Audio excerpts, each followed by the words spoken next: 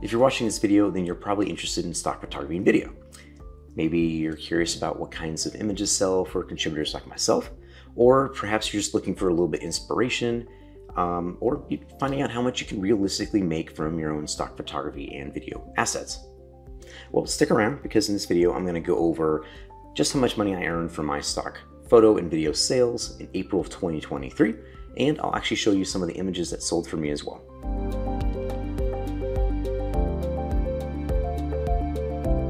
If you're new here, I am Joel, and on this channel, you're gonna find videos like this one, as well as other videos about photography and filmmaking. If you're digging that kind of content, I'd ask that you show it with a like or even subscribe. In fact, our channel almost has a thousand subscribers now. You're probably wondering why that's important. Um, well, basically, once a channel hits a thousand subscribers and 4,000 watch hours in a calendar year, then you're finally able to apply for monetization through YouTube and maybe earn a few pennies off of all the ads that play before, after, and during some of the videos. So I want to thank everyone who has already subscribed to my channel and continues to watch these videos. Uh, I really appreciate that a lot, and I hope you're still getting some good value out of that. I also wanted to give a special shout out to Matt Fowler. Um, he's another fellow photographer and YouTuber, so be sure to check out his channel as well. Uh, but he has some really good photography content on his channel, as well as he's been trying to help me get to a thousand subscribers. And a few of you may have actually come to my channel because of Matt. So if you're some of those people, then uh, let me know in the comments below. Give me a little shout out there. And if not, if you're not familiar with Matt, then definitely go check out his channel. Now, despite being a few subscribers short, um, I am also a few watch hours short right now.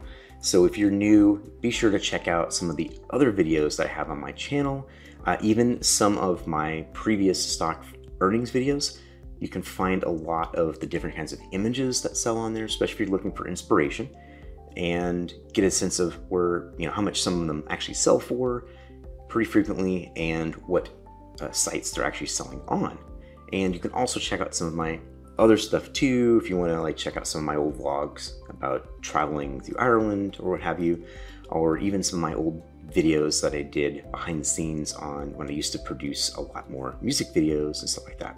Or you can always just rewatch a few videos if you like, or I don't know, play the videos for your pets or your kids. I don't know. Just let them watch it on a loop. No, I'm just kidding.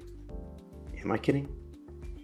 So I like to start these videos off with just a little bit about what was going on in April because as stock photography contributors, you know, we have obviously a whole other lot of other things going on in our life that sometimes keeps us from actually editing images and uploading them and doing that sort of thing. So for me, April was no, no exception to that. Um, uh, it was a pretty busy month for me. I was actually traveling from the Algarve in Portugal to Albania, and I had a quick stopover in Bergamo, Italy, as well as Corfu, Greece. And Bergamo was actually pretty nice because we had like a day or two, and one day I actually got to go through the Città Alta area of Bergamo and kind of do a photo walk and take some pictures and things like that which was really fun to explore. And then in Corfu, I was only there overnight, so I really had no time to like go to get any photographs or anything, which is kind of unfortunate. But um, I was living in Albania in, actually a town called Saranda, and it is just a little resort town on the right on the Ionian coast, directly across from Corfu, where you can see that, which is pretty nice. Um, and of course, during the month of April, I was primarily focused on my other YouTube channel, which is the Wandering Hartz. It's my travel website or travel channel, and I have a travel website with that too. So I didn't really get a lot of content uploaded. However, I did film a lot of stuff and I took a lot of pictures. So um, one of those was on a trip to Gjirokaster in Albania, which is absolutely stunning location there. So if you guys are interested in seeing any of that, or maybe some of the like a photo tour or whatever, uh, some, putting together some kind of little slideshow or video about some of that stuff, let me know in the comments as well. So now let's go ahead and get into my April earnings for 2023. All right, so in April, I earned a total of $66.61, and that was from 42 image sales and three video sales. So let's start with some of the images that I sold in April from the stock agencies that had basically a lot of low sales. These are the ones I like to call my dishonorable mentions. On April, they were Canva, 123RF, uh, Deposit Photos, and Dreamstime. So starting with a few of the images that sold, like this one here. This is a public market sign in really famous sign in Pike's Place, part of Seattle, that sold on Dreamstime. This next shot is of a female hiker in a tropical forest. This sold on 123RF, and it's actually filmed in Puerto Rico. Next, we have this Land Cruiser on the Sierra Nevadas, also sold on 123RF, and that was sold as a commercial image as well. And we also have this road here leading to the mountains, and this is in the Sierra Nevada mountains actually in California, and that was also sold on deposit photos. In total, I earned $1.62 from all of those dishonorable mention or low sales sites. Now, you might not always get sales from every agency that you submit to in each month. Um, that's no exception for me. And for April, those were on VideoHive, EyeEm, Alamy, and Fine Art America. So now let's go ahead and get into some of the bigger agencies that I had sales on. Um, first up is Shutterstock. I had 19 downloads in April on Shutterstock, uh, but only $3.45 in earnings. 19 is actually about average for me um, for my portfolio on Shutterstock, and but my earnings were definitely a little bit lower than they normally are, which is a little bit disappointing. Um, as far as my portfolio is concerned, I have 702 images and 77 videos in April on my Shutterstock portfolio. I did have one on-demand on sale uh, that earned me $1.47, and it was this image right here. That this is the bromeliad flower in bloom, and this was actually growing on a tree trunk in the El Yunque rainforest in Puerto Rico. Now, the rest of the sales that I had were between like 10 and 20 cents, and here's just a few of those that sold. You might recognize this one from last month in my February video. This is the heron in the mangroves, sold two times for me in April. Another one that sold a couple times, so this shot here of the St. Pete Pier, it sells a ton for me on Shutterstock, and it actually sold three times. And then next we have this rancher rounding up horses. This is from a shoot I did in Texas a couple years ago. And this pink hotel is the Don Cesar, and it's in Florida, the St. Pete Beach area of Florida. And yet another one of the Don Cesar, and this is a little wider angle shot, and that's this wide angle shot actually sold twice on Shutterstock for me. And next up, we've got a few images that were actually of signs that sold. And I think it's pretty obvious why this next image sells, because it's a sign for Weed, California. And I, have actually sold this a number of times. This sign here from the El Yunque rainforest. Here's one of a hotel suite called Home2 Suites that actually sold. Of course, these are selling as editorial. And then another one from the El Yunque uh, rainforest as well. The same sign, but just like a wider shot as well. So you're probably noticing a little trend with those sign sales. Um, I've mentioned this before, but you definitely don't want to forget to take pictures of signs. It might seem silly, but when you're photographing a location, it's always good to get coverage of everything, signs included. Not only does it help you remember where you're at when you're looking back at the pictures later on, but uh, they sell great, especially for editorial, because people are always needing, you know, for blog posts and things like that. Or if there's ever some kind of uh, newsworthy event that happens at one of those places, well, they're going to look for something that signifies the location, and a sign does a pretty good job of that. So next up, we have iStock Getty. Um, I had six image sales in April on iStock Getty uh, for total earnings of $4.57. My portfolio on iStock is actually pretty small. In April, I only had 106 images and no videos up. But since my portfolio on iStock is so small, you've probably seen most of these images before because it's like the same images that sell over and over again. Like this one here, of this hidden beach in turquoise waters. That was another one from uh, my time in Puerto Rico, as well as this view of Luquillo Beach in Puerto Rico. And this one, which sells all the time, you've definitely seen it before. The palm trees silhouetted against a colorful sunset has sold four times for me and it's definitely my best seller on iStock Getty. Next, let's talk about Wirestock. On Wirestock, I had seven image sales and I had one video sale for a total of $6.33. I also earned $3.26 in referral income, and that was actually from 50 downloads. So it's good. It's still good to see that you guys who like signed up through my referral link are getting sales. Uh, probably more sales than I am, though. but um, now my Wirestock portfolio is 549 images and 93 videos. Um, I did have a really disappointing sale, uh, which was that video sale, and that came through on Wirestock through Shutterstock. It was it earned me a whopping 85 cents. So it's I'll just show it to you real quick so you can see it. It's this static video shot of a road in the Sierra Nevada mountains in California, and this actually is a road that leads up to Convict Lake.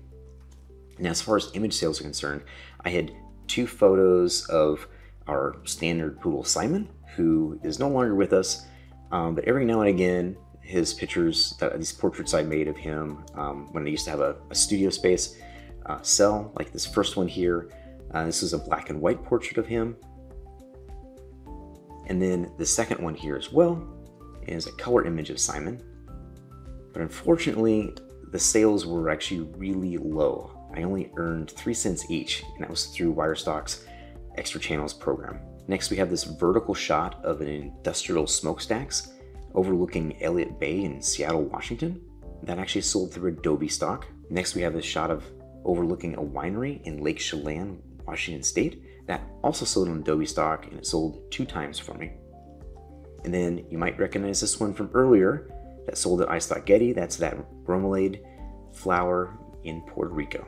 So now that we've been talking about Adobe stock a little bit and the sales I've had on Wirestock through Adobe stock, let's actually talk about my portfolio on Adobe stock itself. Um, that portfolio brought me in $12.99, and that was from six image sales and one video sale.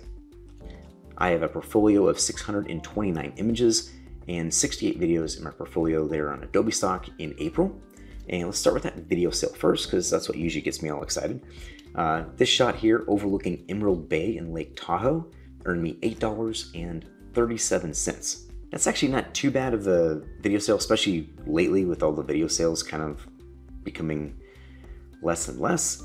Um, but nonetheless, I also had a few image sales, starting with these here. It's a wide shot of a hidden beach in Playa Escondida, Puerto Rico. This is a similar shot to what we saw earlier. This one sold three times. It basically brought in $2.31 just through those three sales. Next is a shot of a ferry crossing Elliott Bay in Seattle. Then there's this vibrant sunset reflected in the water as people were kind of splashing around in the ocean. This was actually shot in Treasure Island, Florida. And the last one is some waves crashing on a coral tropical beach in Hawaii. Now, before we get into my best agency for April 2023, um, I want to ask you to do me a quick favor, and that is go ahead and give this video a like if you haven't already to help other people find it and kind of boost it in the algorithm. Fortunately, we have to do that if you if you want your video to be seen, I guess. Um, and of course, if any of my videos have helped you out, um, you can also show me appreciation by using any of my links, um, or even buying me a beer if you like. But if you haven't subscribed, I would say that's the easiest thing to do, and that's I'd appreciate that as well. Okay, so now let's get to my best agency for April, and that was actually Pond 5. Now, you can probably guess on Pond 5 is a video, primarily video site, and I did sell a video on there. Um, I sold one video and I sold one image um, for a total of $37.77. My portfolio on Pond 5 is 937 images and 213 videos. We'll start with that video sale because that's the one that gets me most excited. This video here of this dramatic sunrise time lapse over the ocean was shot in Kauai, Hawaii, and that one earned me $26. Now, I only have a few time lapses that I've even made. Uh, that one that you just saw, as well as uh, maybe two or three other ones. And so maybe I should do more time lapses. I don't know. I know uh, Jeff Whyte does a ton of time lapses. If you haven't watched his channel, definitely should. He has, I think, some really good tutorials on how to do them. I need to probably watch those tutorials again and try to try my hand at doing some more time lapses because I do like the $26. That's pretty nice. Now I did have one image sale I talked about, and it was this editorial shot here of a crowd of people, and this was done at the Van Gogh Live kind of immersive experience. It earned me $1.38, and of course, since there's people in it, um, this was an editorial shot as well. Additionally, I did receive $7.29 as additional revenue, um, but upon further inspection, it seems that it was actually from my images being used to train an AI dataset. Um, I know a couple other YouTubers have talked about this in previous videos, and since I'm so late to getting this video out, you probably already know all this. Um, but um, Jeff Whyte and Jason Yoder had also noticed it as well in their April uh, earnings videos too. And I don't know, let me know if you saw the same thing um, with your earnings in Pond 5. So now let's go ahead and give you a, a chart of my totals uh, broken down by agency.